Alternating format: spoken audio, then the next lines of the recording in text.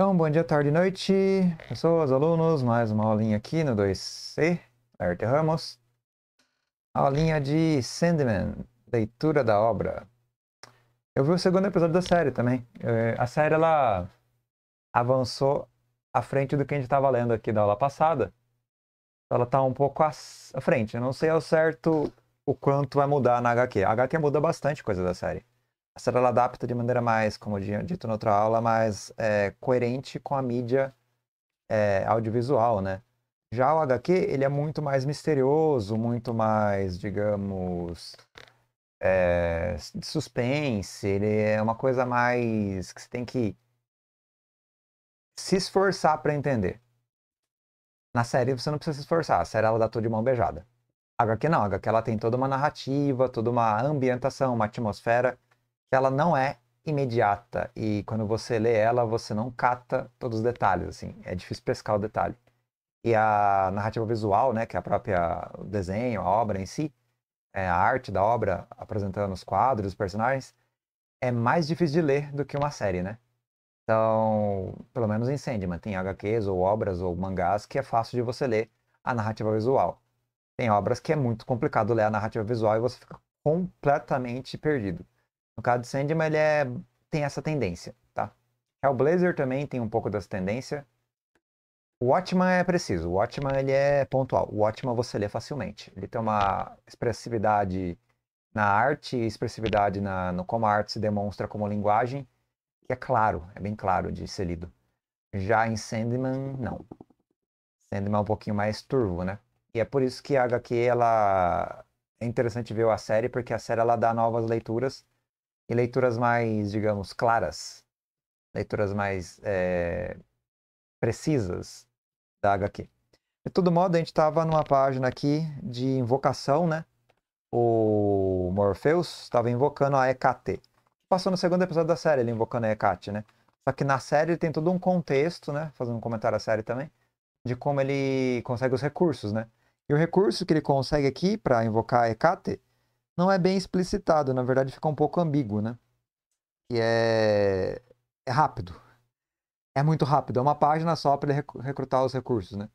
E eu vou ler essa página aqui de novo porque eu particularmente boiei aqui, né? Ele tinha pego de volta é, o nome, né? É, o Gárgula que ele tinha pego na série e na, na, no, no HQ ele também tinha pego o Gárgula, se não me engano, de volta, só que não tem dramaticidade, é um negócio muito mais. É...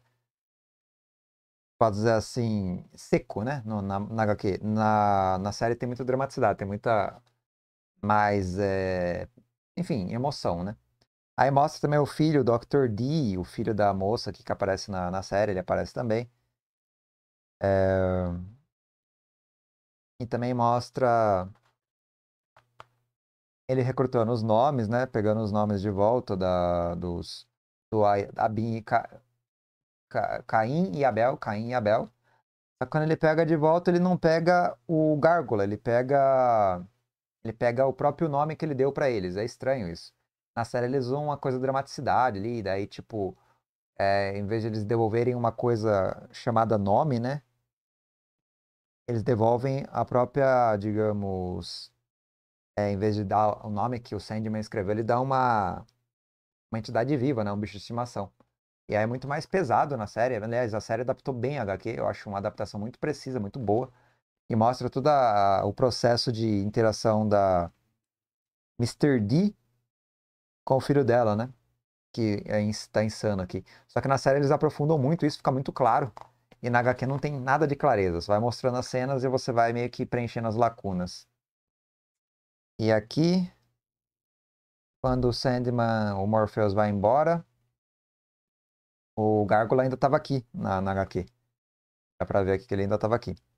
Aí ele chega lá e consegue um portal. E ele também dá um prêmio para os. Uh, pra Caim e Abel, né? Que nem na série. Ele também dá um gárgula pequenininho para eles. Um ovo, na verdade. Vai virando um gárgula. Aí tem o debate de que nome dá pro gárgula e tal. Na série faz mais sentido, na HQ é muito raso. Eu tô achando que a linguagem da série mesmo, o modo como você expõe informações na série, ele engrandece em muito a obra. E aí tem os esquemas do Abel morrendo também. Ou o Caim morrendo, não sei. Aí ele chega e fala, né? É, na página. Bom, não tem página aqui. Deixa eu ver, deixa eu ver, deixa eu ver. Roubadas, perdidas de mim, as relíquias, né? As relíquias que foram roubadas, perdidas de mim. Aí o, o bibliotecário dele chega e fala: Aquela que a três em uma sabe muito. Urte, Bertande e Scalde. Se o senhor estiver forte o bastante para invocá-la. Ele tá falando da Hecate, né? Aquela que sabe tudo e é três em uma. Ele fala: Sim, sim, eu a chamarei. Deixe-me a sós, Lucian. Lucian é aquele cara que ele ajudando ele na série, no, no HQ, é um tipo bibliotecário, amigo dele. E nisso ele fala o seguinte, ó. O mundo dos sonhos, o tempo dos sonhos, o inconsciente. Chame-o como quiser. É tão parte de mim quanto eu sou parte dele. E, pela primeira vez desde minha volta, pela primeira vez em 70 anos, eu alcancei minha substância e moldei o mundo. Aí nisso ele volta e faz o seguinte, ó. As encruzilhadas vêm de um fazendeiro cambodiano de seus sonhos com um novo carro de bois. A força, a forca vem de um jovem, de uma jovem japonesa fã de cinema, sua cabeça em um turbilhão pelo excesso de filmes de terror de estúdio, do estúdio Hammer. Então ele vai invadindo os sonhos dos seus é, súditos, né, que são seres humanos, e vai roubando é, os segmentos que ele mesmo, pode assim, criou, né? Que é o sonho, ele é tipo, ele é o sonho, ele é ele mesmo, o sonho é ele, ele é o sonho. Então, ele entra dentro de um sonho, ele está entrando dentro de si mesmo. E quando ele entra dentro de si mesmo, ele consegue recursos é, como insights ou, é, sei lá, aprimoramentos internos. Ele exterioriza os aprimoramentos, que são, no caso, a forca, a, a encruzilhada e o mel, as cobras, a lua, quarto crescente. Tudo isso é fácil de arranjar. Aí ele arranja um mel, cobra, lua quarto crescente. Na série ele só arruma três objetos. Mas aqui tem outros elementos também que ele arruma na HQ. Uma ovelha negra e um, é um tanto mais difícil. Mas uma das espécies dança nos sonhos de uma criança em Adelaide, Austrália. Eu a tomo para enriquecer o cenário. Essa ovelha aqui não mostrou na série. Ele, a série ela simplificou o ritual.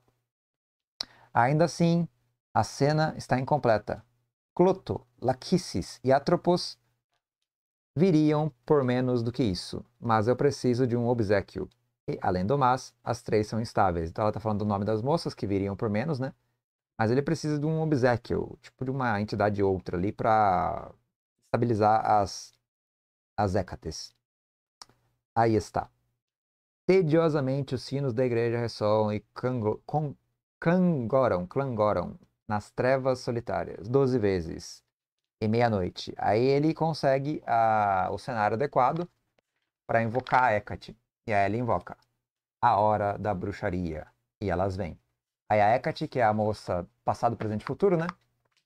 É o passado da moça, o presente da moça e o futuro da moça. Aquela que é três. O nós, que somos elas. A Hecate. E na série mostra elas também. Só que elas são muito sarcásticas na série. Elas são bem maquiavélicas. E aqui no HQ, vamos ver. Aí mostra elas com o caldeirão delas e tal, e o Morpheus à frente delas. Ele fala o seguinte: Sejam bem-vindas, minhas senhoras. E a mais velha do passado, acho, fala o seguinte: Você. Você parece tão magro, meu querido. Não tem comido direito? Não é mesmo? Morpheus, há quanto tempo? Fala a do meio. E a do futuro. Ele quer alguma coisa, fala ela. Ele fala o seguinte: Senhoras, Atropos. Tem toda razão. Quero mesmo alguma coisa. Atropos pergunta mais à esquerda. Provavelmente, eu não sei se é o passado ou o futuro. Atropos. Não, agora não. Você pode me chamar de Morrigan. Ela está certa, meu fofinho. Também pode nos chamar de Tisífone, Alecto e Megera. Isso nos remete ao passado, não? E a do presente mais nova se preferir, pode muito bem nos chamar de Diane, Mary e Florence. Hahaha, desculpa. Ele tá brincando com a cara do, do, do Morpheus. Elas, né, falando que elas têm vários nomes, né? Para mim, vocês serão sempre as três graças, minhas damas. Aí elas falam, bajulador. Oh, ele é astuto. Aí ele continua. Então, como devo chamá-las? Pergunta. Aí a do presente fala: Eu sou Cynthia. Ela é Mildred. Eu sou Mordred. Nome idiota. Eu deveria ser Morgana. Fala a mais narigudinha. Não foi culpa minha. Eu só as puxei um pouco, eu só as deixei um pouco confusa. Nada demais. Então tem uns nomes bagunçados aqui. Essa parte dos nomes é bizarro, cara. Mas é uma coisa de mitologia, né? Uma coisa mais é, lúdica, né? Na, na série fica mais fácil. E aqui elas falam. Bruxa rainha, fala o, o Morpheus. A senhora sabe do meu cárcere, de minha aprovação, do tempo que me foi roubado, fala Morpheus para elas. Né, que tem vários nomes. Roubaram tempo de você? Como assim? pergunta do presente, mais jovem. Você tem todo o tempo à sua disposição, fala ela. Aí ele retruca, né? Enquanto uma delas come um morcego estranho, cru. Se eu não me engano, deve ser a do passado. Eu não sei se a do passado é a da túnica ou se a do chapéu de bruxa é a do passado, eu não tenho certeza. Mas eu sei qual é a do presente, que é a mais nova. Eu acho. Ou a mais nova é a do passado e a do presente é a de túnica e a do futuro é a mais velha com chapéu. Não sei. Enfim. Aí ele fala: roubaram mais do que tempo. Quando, quando estabeleci estes domínios, eu criei ferramentas para administrá-los. Minhas ferramentas estão perdidas, fala Morpheus. Eu preciso de ajuda. Aí a, a de chapéulão, a que usa o chapéu de bruxa, fala o seguinte: Ajuda? Ouçam o que ele diz. Você nos ajudou contra Circe. Você nos ajudou contra Circe? pergunta ela. Daí ele fala: Não importa. Estes são os meus domínios. Tem leis, leis antigas. E os seres do mundo aquecem as leis. Aquecem de esquecerem, né? É, minimizam as leis, minimizam, diminuem as leis. Assim como vocês três obedecem às suas próprias, poderia uma de vocês existir separada das outras duas? Pergunta ele. Preciso de três respostas. Vocês são obrigadas pelas leis a me concedê-las. Morpheus é muito mais autoritário na, na, na, na HQ. Ele tem um poder, assim, de, de argumentação bem mais forte que na série.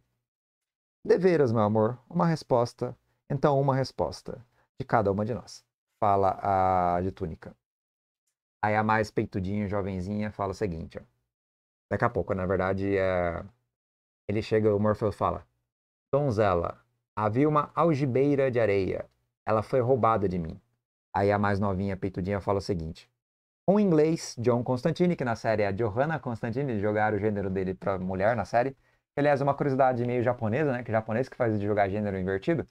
Se vocês conhecem Fate Stay Night ou outros animes assim, que Rei Arturia, né? Em vez de ser o Rei Arthur vira Arthur, entre outros, como por exemplo Nero, que vira é, a Nero, né? Porque vira mulher também. Enfim, é coisa de japonês fazer de inverter gênero de personagem histórico. Aqui não é personagem histórico, é personagem da própria mitologia do da DC, né? Só que na série eles invertem o gênero do John Constantine e vira mulher. Que eu não sei se é bom ou ruim ainda, porque eu não vi a personagem interpretando o John, como é que é. A pegada mais é o como o John se manifesta. Ou a John, né? A Johanna. E não se é gênero masculino ou feminino. Mas de um modo ou de outro, ela fala: um inglês, John Constantine, ele foi o último a comprar sua algibeira. Então o John tá com a algibeira do sonho. E vocês conhecem Constantine, Constantine é complicado. E ele ainda tem Pergunta Morpheus. Uma pergunta, uma resposta. As regras, meu senhor, as regras. Igualzinho a série, ele fica questionando duas vezes. É, o Morpheus é meio sem noção. Aí ele pergunta para de túnica. Entendo. Então, sua pergunta, Mãe Suprema. Meu elmo, o que aconteceu com ele? Aí a... ela responde. Foi negociado com um demônio, meu pombinho. Muitos anos atrás. Desapareceu há décadas do plano mortal. Que demônio? pergunta Morpheus. Uma pergunta, meu querido, e uma resposta, responde a senhora que ele chama de Mãe Suprema. E a última é velha encardida, velha encarquilhada. Eu não sei o que é, se é velha do passado, né? Deve ser a velha encarquilhada, deve ser o passado. A de túnica deve ser a Mãe Suprema, que é o presente. Não faz sentido isso. Velha encarquilhada é o futuro ou é o passado? Cara, eu não sei, eu tô confuso. Eu não sei qual é o passado, presente e futuro. Foi mal, foi mal. Eu não tenho a mínima ideia mesmo. Porque para mim faria sentido se o presente fosse neutro, né? e a juventude fosse o passado. Então a mais bonitinha é o passado, a meio termo é de, de túnica seria o presente, e a mãe suprema, e a donzela seria o passado, e a velha encarquilhada seria o futuro, porque envelhece, né? Então, talvez seja isso mesmo. Aí ele fala: velha encarquilhada, uma última pergunta para a senhora. Minha pedra, minha rocha onírica, meu rubi, pedra lunar. Quem o detém agora? Aquele rubi, né? Que ele perdeu o rubi, a, o elmo e a algibeira. Aí ela fala: sua gema foi entregue por uma mãe a seu filho, que lançou mão da magia dos sonhos, contida nela para seus próprios fins. Até que ela, os sonhos dele, foram tomados do infeliz por super-humanos. Pergunte à Liga Justi da Justiça sobre seu paradeiro. Caraca, a Liga da Justiça entrou no negócio, velho. Então, vou ler de novo. A sua gema foi entregue por uma mãe a seu filho, no caso ao Dr. D, né, o Dr. Destino, que lançou mão da magia dos sonhos, ou seja, ele usou a pedra, contida nela para fins próprios, para seus próprios fins. Até que ela, a pedra, e os sonhos dele foram tomados do infeliz por super-humanos. Então a pedra caiu em mãos de super-heróis. E os super-heróis são a Liga da Justiça. Pergunta a Liga da Justiça sobre o seu paradeiro. Então a Liga da Justiça nocauteou o Dr. Destino. Aí o Morpheus, mas onde? Não apenas uma pergunta, eu sei. Mas onde pergunta? Não, apenas uma pergunta, eu sei. Obrigado, irmãs bizarras, fala o Morpheus. Agora temos a Liga da Justiça, coisa que não tem na série, tá? A série ela ignorou a Liga da Justiça. Ela deu apenas a conexão do Dr. D, mas não mostrou nada de Liga da Justiça na série. A série é um pouco diferenciada. Não ter Batman, Robin e Superman e o ligeirinho lá, o Flash e a galera nessa história. Aparentemente é uma história apenas do da HQ. Aí ele continua as três mulheres falando. Primeira do futuro. Ha, ha, ha, ha, ha, ha. Ouviram isso, minhas irmãs? Que, eu, que sou eu? Minhas irmãs, que sou eu. Fala uma delas. É a do passado fala, ho, ho, ho, ho. Obrigado, diz, diz ele. Não se agradece a Sinas, sonhozinho. Não tem que se agradecer a Sinas, sonhozinho. E a mais neutra do presente fala, ha, ha, ha, ha, ha. Nós não ajudamos você. Seus problemas estão apenas começando, todas elas falam e vão embora. Aí Morpheus dá as costas para elas e fala o seguinte: A exaustão cobra um pesado fardo de minha alma. Eu tive respostas de alguma grandeza. Essa será uma busca penosa. Abel está morto faz algumas horas que o Caim matou ele, né? Mas começou a se sentir melhor, porque ele ressuscitou. Aí ele levanta ele tava no meio da grama, não tinha sido enterrado, que na série ele é enterrado, né? Naquele ele não foi enterrado, ele tá na grama só. Ele nota suas vértebras esmigalhadas rangerem enquanto sobe a colina. Até mesmo a dor é mais agradável do que o frio da morte. Então tá com a costa só o pó, né? É uma longa jornada de volta, enquanto o Abel volta. Essas é, histórias paralelas dentro a narrativa que na série fica um pouco mais bem construído, então é uma coisa mais consolidada, que na HQ é um pouco picotado. Aí volta pro Morpheus, e o Morpheus fala: Então, muito mudou, muita coisa se mostra estranha, desde que fui arrancado do meu lar de sonhos. O que fazer agora? pergunta-se para si mesmo.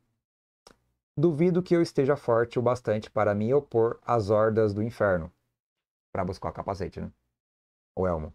Ainda não. A terra, então, primeiro, o rubi ou a algibeira? Então vai na terra, não, não vamos para o inferno. Vai na terra.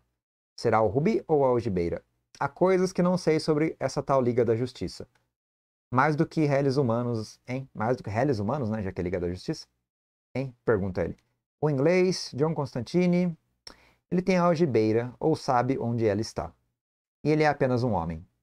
Aí ele vai atrás do John Constantine primeiro, né? Eu visitarei Constantine, recuperarei minha algibeira e, com ela, terei poder para desafiar os portais do próprio inferno. E pegar o elmo, né? Afinal de contas, ele é apenas um ser humano. Apenas e tão somente um ser humano. O que poderia dar errado? Pergunta o sonho. Ele está lidando com Constantine. Quem não conhece Constantine sabe que Constantine é um puta de um problema ambulante. Ele é muito, muito hábil. E ele é, não tem noção do que Constantine é, ainda, né? E ele vai se lascar.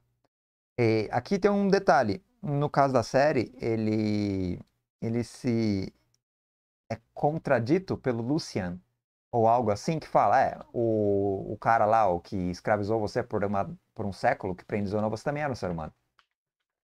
Você está subestimando os seres humanos, mas o cara que te escravizou por um século era um ser humano. Então você está sendo arrogante. Mas o Morpheus volta aqui. E mostra o Abel, todo arrebentado. Hum, fala ele. Eu vou é, lhe contar uma história, Goldie. Goldie é o Gárgula. O Gárgula que ele ganhou do ovo do Morpheus. É... Deixa eu ver. Eu acho que que parte que lê isso aqui? Porque tem uma ordem de leitura que eu não conheci. Já sei qual é a ordem de leitura.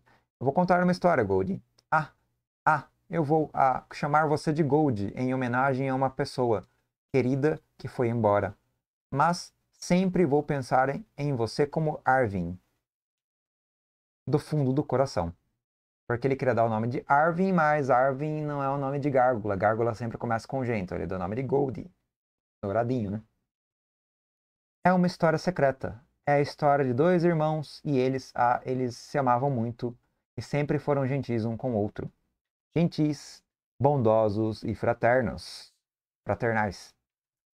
E o irmão mais velho nunca machucaria o mais novo. Nunca. E eles viviam juntos na mesma casa. Aí mostra ele com um baita de uma cicatriz no olho, tudo inchado, porque ele foi assassinado pelo irmão e tal, né? E eram, é, eles eram muito felizes. Sinto muito. Eu não ia. Eu não, eu não estou chorando. Não estou mesmo chorando. Enquanto Caim chora lágrimas de sangue. É só sangue, maninho. Só sangue. A seguir, sonhe um breve sonho comigo. É um capítulo novo, né? A gente está no terceiro capítulo agora. Então a série adaptou dois capítulos em dois episódios. E agora vamos pro terceiro capítulo, que é o terceiro episódio que eu ainda não vi na série. E é o Constantine. Constantine, assim, é, é o cara. Meu personagem preferido da DC é o Constantine. Adoro o Constantine. É, e a morte também do Gaiman, adoro a morte.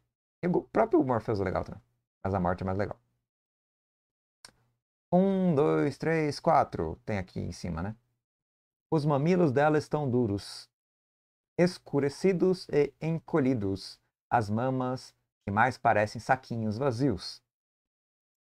Seus cabelos emergem emaranhados quando ela se move. Ela tenta não se mexer tanto.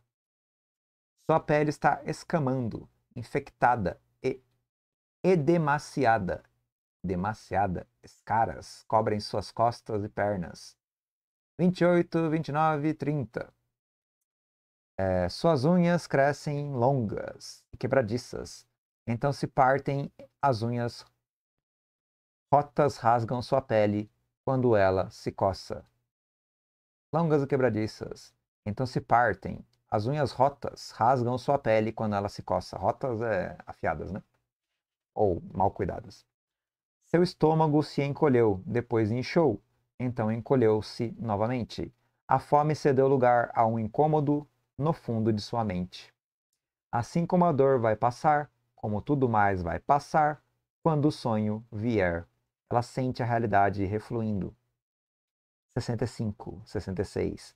Ela vai esperar. Retardar o prazer, retardar os sonhos. Ela vai dissolvê-la na boca. Aspirar, esfregar na pele. Não importa, ela está contando até 100. 96, 97, 98. Essa HQ foi publicada em março de 89, originalmente. Enfim, essa, esse capítulo aqui, né? Essa, essa segmento da HQ do Senhor. Ela tá ali contando até 100. A algibeira com a areia escorrendo. É uma mulher que aparentemente está cuidando dela. É, totalmente decrépita, aparentemente. E aí, do nada, acorda com o despertador o John Constantine. Ele busca o cigarro e o isqueiro. E fala o seguinte no, no rádio do da despertador.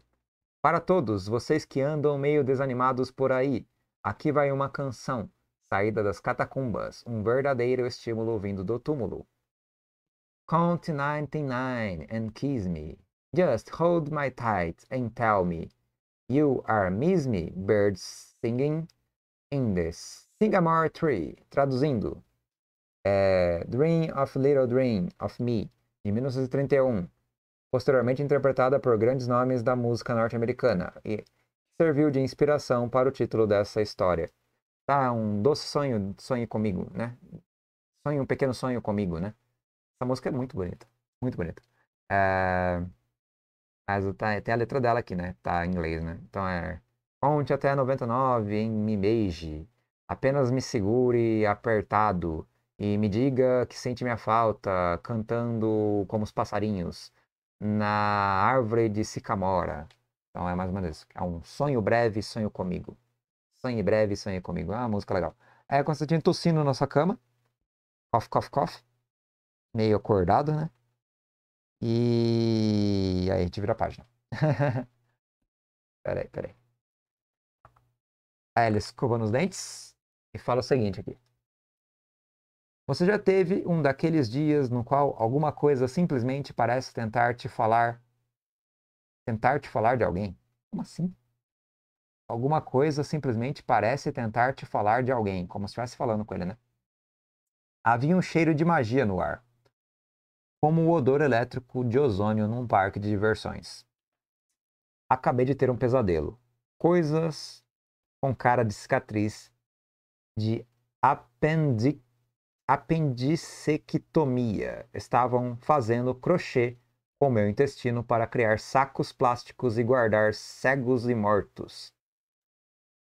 Enfim, metáforas. Diretamente do passado, velho.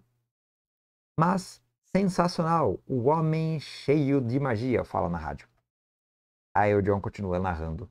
Eu disse para mim mesmo que era só um sonho, mas não faz diferença alguma. Os filhos da mãe continuaram a costurar.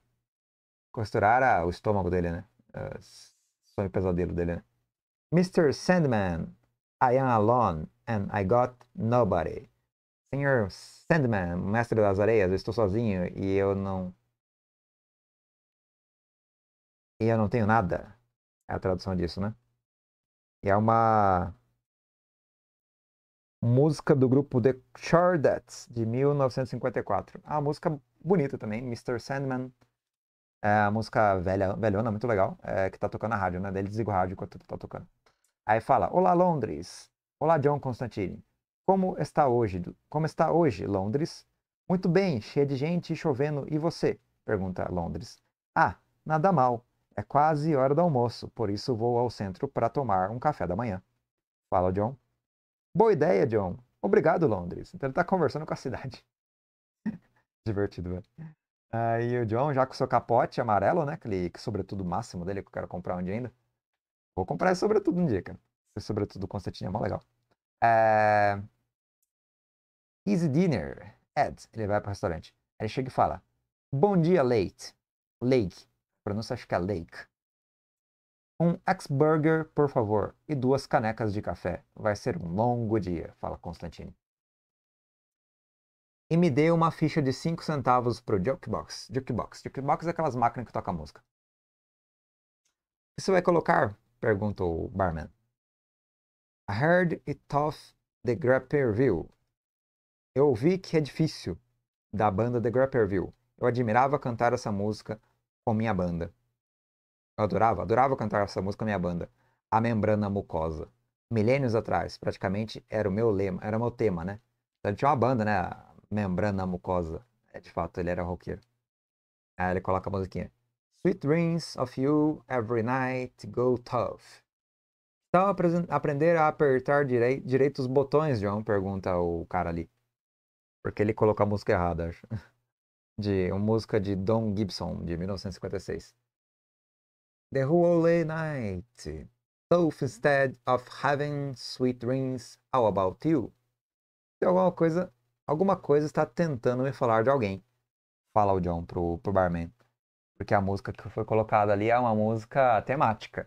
Então, o contexto mágico está insinuando pro John que ele está recebendo subtemas, submensagens. É muito interessante isso.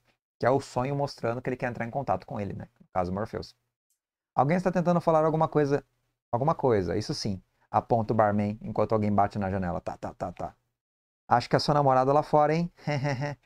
Meu Deus, Rete. Maluqui... Maluquete. Rete, maluquete. Fala, Constantine. Enquanto alguém bate na janela todo zoado, assim. Parece um morador de rua. Pá, pá, pá, no vidro. Aí o John recebe esse indivíduo que tá batendo no vidro, né? Ele tá de volta, John, fala o indivíduo. Quem está de volta, Hattie? pergunta John. Aí ela fala: Tu, tu devia saber, sabichão. Morpheus, o Oniromante, Oniromante, tá ligado? O Sandman, ele tá de volta. Sandman? O Homem das Areias? Hattie. Você tá tirando com a minha cara? pergunta Constantine. Pivetada arrogante, fala ela. E aí o John, qual é? O João Pestana é um conto de fadas que a gente conta para crianças quando quer que elas durmam. Ele borrifa areia mágica nos olhos das pessoas para elas terem doces sonhos. É, e aí ele continua. Estou tentando salvar o mundo, Hate. Hate Maluquete, que é o sobrenome dela. E você me vem com contos de fadas? Então o próprio Constantine não acredita no, no Perpétuo Sandman. Ele pensa que é besteira. Ela fala: Presta atenção, John Constantine, seu almofadinha safado. Eu disse Sandman. E tô mesmo falando do Sandman. Ele tá de volta, John. Ele tá querendo o que é dele. Eu tô sabendo. Eu tenho 247 anos e tô sabendo. Ele tá de volta. Então a Hatch Maluquete tem 247 anos. Ela é bruxa, né? Obviamente, né? Nunca viver tanto se não fosse. O mais engraçado é que ela tem mesmo 247 anos. O John narra a história, né? O Sandman, hã? Pergunta ele. É mesmo. É melhor investigar essa parada, fala o John. Aí, antes de ir pra outra página, nossa, tá bem legal essa história. Cara, o John Constantine dá um brilho na história, mano. Adoro John Constantine. Ah, tem que ler HQ de Hellblazer quando der um tempo. Tá aí na, na minha. minha. comprar algumas que eu não consigo comprar também, porque perdi. Eu tenho que comprar em inglês, eu acho que eu não consigo achar em português. Aí continua aqui, narrando, né? Ele deixou o Porsche uns 800 metros estrada abaixo. Torce para que o carro não seja roubado. Tem uns ladrões de verdade à solta pelas ruas. Eles se chamam rastejantes. É uma atividade esportiva. Invadem a casa das pessoas enquanto elas estão presentes. De dia, ele é um corretor de valores. Então, ele é um rastejante. Ele invade por hobby a casa dos outros talões de cheque, cartões de crédito, CDs, videocassetes, encara isso como sua contribuição para a economia de livre mercado. É ele, ele, ele. Ele deve estar sonhando. Pode sentir, a, pode sentir a pele firme e quente da jovem, o aroma do sexo impregnado no ar. Os lábios dela têm gosto de rosas e paixão. A mulher agarra, o agarra como se sua vida dependesse disso. Isso é bom demais. Aí mostra uma cena de um cara meio que imaginando um sexo com a moça aqui. É, acho que é da casa mesmo, que estão trepando, não sei. E ele tá só ouvindo enquanto ele invade a casa. É um rastejante, né? E contribuindo para a sociedade ao roubar pequenas coisas, como videocassetes, talões de cheque, cartões de crédito, entre outras coisas. Não faz muito sentido, mas tudo bem. É, enfim. Bom, bom demais para ser verdade. Ele está atingindo 230 km por hora na Lamborghini dos seus sonhos. Todo mundo está roxo de inveja, a aceleração dura para sempre. Jesus, ele está morrendo por eles. E todos o adoram. Então tem vários sonhos aqui paralelos, enquanto alguém anda de Porsche, alguém rouba uma casa, alguém trepa e alguém crucifica Jesus. Sonhando com Jesus sendo crucificado, na verdade. Todos adoram Jesus. Aí continua. Ele é o puro e perfeito e está morrendo para livrá-los do pecado. Ele é puro e perfeito, está morrendo para livrá-los dos pecados. Ele pode, ele pode ver seus pais, seu chefe, suas namoradas na multidão abaixo. Todos estão se lamentando agora, se lamentando porque o tratarão, o trataram tão mal porque ele é o filho, o último filho de um planeta morto, o homem mais forte do mundo. Ele pode fazer tudo o que quiser. Tudo. Aí é outra pessoa já, não é mais Jesus, né? Tem várias é, histórias entrecortadas no mundo da, da, do devaneio aqui, pra dizer assim. Aí esse caso do homem mais forte do mundo é o super-homem. Falando super-homem mesmo. É, ele pode fazer tudo o que quiser, tudo, simplesmente tudo. Aí mostra o cara é, invadindo a casa de novo. E aí mostra o John Constantine. John Constantine é o seguinte, ó. Nos dias que se seguem, penso muito em investigar esse papo do Sandman. Só que, sem me dar conta, vou me esquivando. Né? Constantine vai dando uns perdidos. Minhas próprias pesquisas me mantêm muito ocupado. Aí a musiquinha de fundo. Sweet dreams are made of days. Who I am to disagree. É... Banda que fez a música Eurythmics, 1983. Então tem essas temáticas de sonho o tempo inteiro inseridas. Essa parte onde ele tá mostrando um cara invadindo a casa, sexo, é, sonhos com Jesus, super-homem, eu não sei dizer o, como interpretar isso. Mas a parte da musiquinha de fundo e do Constantine mexendo nas pesquisas de bibliotecas dele, tudo bem, né? Aí ele fala ainda, mas ele fala o seguinte, Constantine, na narrativa, né? Uma coisa eu aprendi: é possível saber de tudo. As informações estão em toda parte. Basta a gente encontrar. E a música continua. To call me on, I want to dream lover, so I don't have to dream alone. Bob Darwin, 1959. Todas as músicas são de sonho, né? Muito chiques. Dream are like angels, they keep bad at by. Bad at by. Que é do Power of Love, da banda Frank Goose, de Hollywood, 1984. Enquanto isso, ele liga a TV e vive a vida dele no dia a dia, né? Sonho com uma confusão de linhas lei. Linhas lei são linhas da magia. Leptons, campos de plasma e gigantes da relva. Então os sonhos começam a ficar ruins e aterradores. Como de costume. Então Constantine é na sua piração lúdica aqui. Foi só no terceiro dia que ele deu as caras. Terceiro dia, quem deu as caras? Quem deu as caras? Morpheus. Aí o Morpheus bate na porta, na verdade abre, o Constantine abriu a porta e o Morpheus estava fora. E o Morpheus fala o seguinte: John Constantine, eu presumo. E o Constantine larga os papéis que ele estava bardeando é, no chão, né? Cai tudo assim. Constantine tá com cara de quarentão rebentado nessa HQ, né? Não sei quantos anos ele tem aqui. Mas o Morpheus ali, ele olha pro Morpheus. Aí ele fala o seguinte: Com certeza, cara, eu não sou o Dr. o Dr. Livingstone. Desculpa não resistir, não resistir a piada, né? Fala ele. Constantine divertindo com a cara, né? Não sou o Dr. Livingstone, com certeza, sou o Constantine. Bem, Inha. Beinha? Que é Beinha? Não sei. Falou Constantine. Suponho que você deva ser. Aí o Morpheus fala: Algo que me pertence chegou às suas mãos. Uma algibeira de couro cheia de areia. Eu a quero de volta. Onde está? Vai direto pro ponto o negócio. Aí o Constantine fala o seguinte: Aquela algibeira mas ela esteve comigo anos atrás. É, eu comprei num, num saldão. Tipo família verde, sabe? Tipo família vende tudo. Tipo um. É, como é que se chama? Albergue, né? Não, albergue é. Esfera de vinda de roupa aí que você pega né? na esquina, né? Família vende tudo em São Francisco.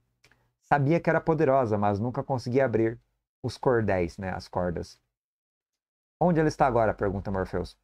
Não vejo essa bolsinha faz séculos, mas é possível que esteja no guarda-móveis do Chas, com as coisas que eu trouxe de Paddington e de Notting Hill. Chas é um grande parceiro do Constantine. E também do apartamento de West Croydon. Croydon, antes disso. Então vamos resgatá-la, fala o Morpheus. É o Constantine. Acha mesmo que eu vou andar no transporte público com você vestido desse jeito? Ia ser muito constrangedor. Fala ele. Aí o, o Morpheus muda de roupa. Assim está melhor? Com o sobretudo preto. Aí o, o Constantine fala, Afe, tenho que te apresentar pro grandalhão, grandalhão verde, vocês iam se dar bem. Grandalhão verde, filho, é o monstro do pântano. monstro do pântano. Tenho que te apresentar pro grandalhão verde, vocês iam se dar bem. Ele também tem não tem senso de humor. Não tem senso de humor. Daí ele sai em busca da algibeira. Né? Já estamos procurando há duas horas, Constantine. Paciência tem limite, fala o, o Morpheus. Não creio que ela esteja aqui. É, e ele, fala, ele ainda continua. Se estivesse, eu seria capaz de senti-la, fala, fala o Morpheus. A gente ainda tem que conferir um monte de coisas, chefia. Continue sorrindo, vai aparecer. Fala Constantino. Aí ele continua. Como foi que você perdeu essa algibeira afinal? Pergunta ele. Aí o Morpheus. Foi roubada de mim por um homem chamado Burgs. O velho rei demônio em pessoa, hein? O velho rei demônio é o Burgs, né? O rei demônio. Aí eu consegui ficar fuçando os negócios ali na. Sei lá que lugar que ele tá, num tipo de armazém. Você deve, ver, você deve ser mais velho do que parece, fala Constantine. Aí cai as caixas, droga, cai tudo no chão. Não sei por que me apego a todos esses trecos, fala Constantine. Se houvesse um incêndio, ia ser como se minha vida inteira pegasse fogo. Ah, ó Deus, minha nossa. Ah, chefia, acho que sei onde está sua bolsinha. Onde está sua bolsinha? Fala Constantine. Ele tá bem de boas esse Constantine, tá? Tá suave, mano. Tá sendo proativo.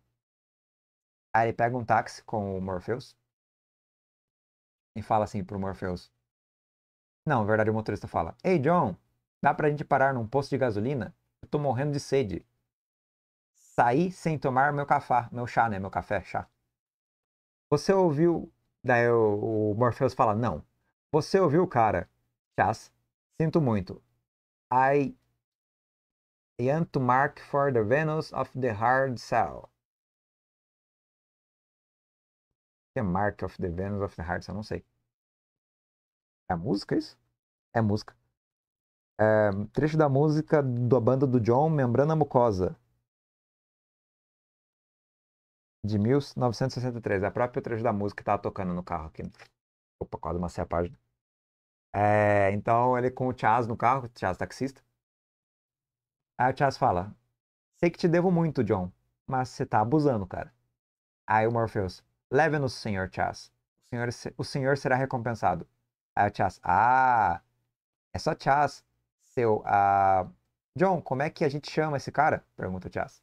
Pra não falar senhor, né? Senhor Chas. Não chama. A turma dele simplesmente aparece do nada. Eles, eles é que te acham. Eles é que te chamam. Eles é que te chamam. É o que significa zona com a cara todo mundo. Todo mundo se cala enquanto Chas dispara pela rodovia.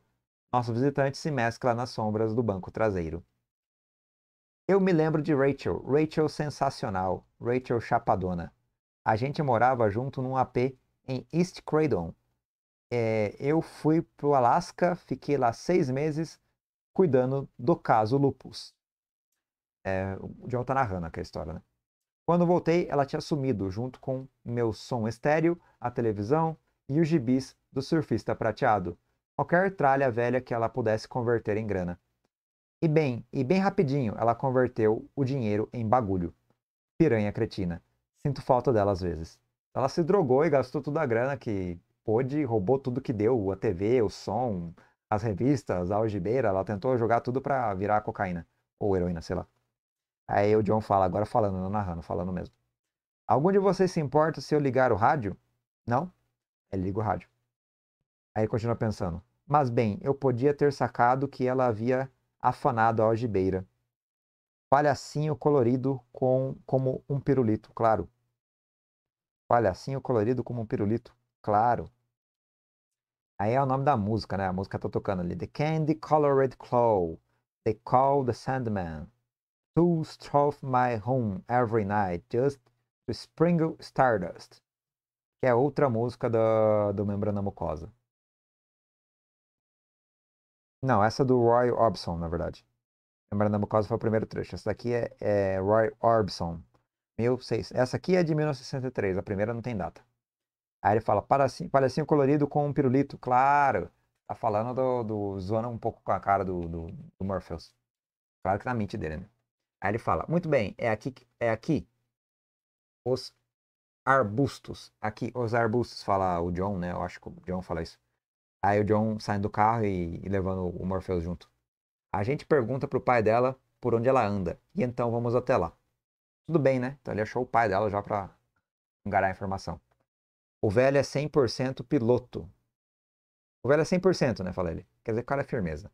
Piloto aposentado, grande sujeito. A gente vai recuperar tua bolsa. A algibeira está aqui.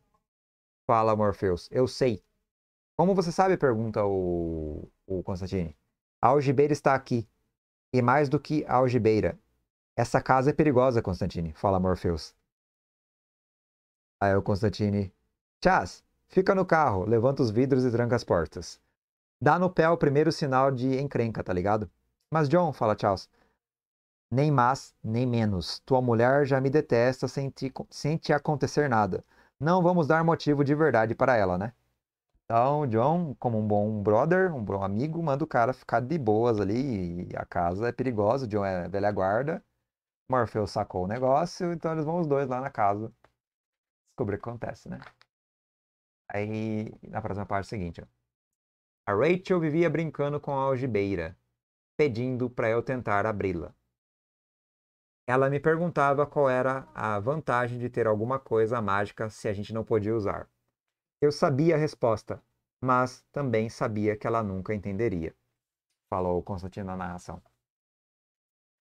Então, né, coisas mágicas no mundo de DC e ainda mais no mundo de graphic novels, como Constantine, no caso Hellblazer, Sandman, é, Monstro do Pântano e a galera mais é, graphic novel adulta, sim, coisas mágicas são muito perigosas. Leve isso em consideração, entendeu?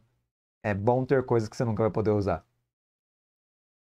Aí ele fala, abrindo a porta, caramba, ninguém atende, a porta está fechada, trancada e com alarme ligado, fala o John. Vamos dar a volta pelos fundos. A gente quebra uma janela, entra por lá e. Daí o Morpheus fala: Não. Não vamos entrar pela porta da frente. Não. Fala, não. Nós vamos entrar pela porta da frente. Perdão, às vezes eu leio errado porque a letra pequena eu enxergo meio mal. Nós vamos entrar pela porta da frente. Aí a porta abre. Porta abrindo. Aí o John narra de novo. O cheiro é estranho. Em parte me faz lembrar o mês em que trabalhei para um agente funerário mistura de carne com formal. Que gozado, cheiros são como linhas diretas para a memória.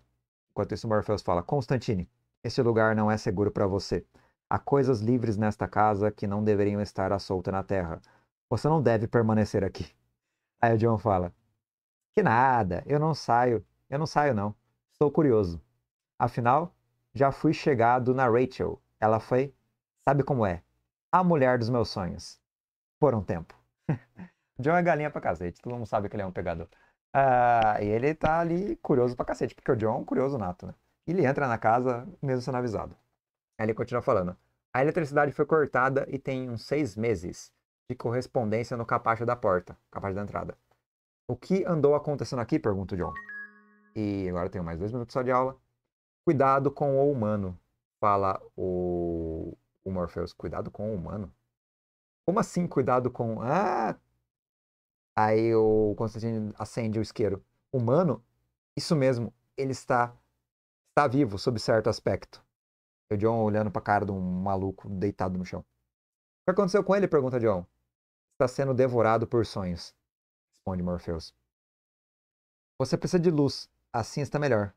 Morpheus, puf, faz luz. Né? Liga a luz. Assim está melhor? pergunta. Ah, claro, valeu, fala o Constantine.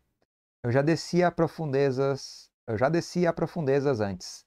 Algo me diz que há tubarões nas profundezas daqui. Eu devia era dar no pé, mas Rachel, fala Constantine, sabe que devia dar no pé. Constantine tem muito instinto, muito instinto. Ah, o cara é porra louca, mano. Muito porra louca. Mas Rachel. Aí na próxima página. Filmes. Casa velha às escuras, ameaça horrenda à solta. Vamos nos separar, gritos abafados nas trevas. Vamos separar entre aspas, gritos abafados nas trevas. Narra ele. Aí ele fala: Ah, vamos continuar juntos, né? Pro Morpheus, enquanto ele imagina, né? Casa, sonho, delírio, problemas. Aí o Morpheus fala: Claro, vamos sim. E pessoas, eu acabo por aqui porque só tem mais 28 segundos de aula, tá? Aí continuamos nessa mesma página na aula que vem. Acho que eu vou ter visto já o episódio 3 da série. Então eu vou fazer comparativos, tá? Mas dando um spoiler aqui, o negócio é feio. João Constantine entra no mundo pesadelo. Da hora, cara. Da hora. Da hora mesmo. Marca a página novo. Até mais, pessoas. Valeu aí. Pessoal do YouTube, grato pela presença. Desculpa pela leitura tosca. Eu sei que é tosco, eu tenho autoconsciência disso. E mouse mesmo. Mas é isso aí, pessoas. Agora eu vou plantão de dúvidas aqui da turma. E vocês ficam aí de boas até a aula que vem, quando eu continuar a leitura da, da obra de Sandman, do Neil Gaiman. Beleza? Falou, galera, e até breve.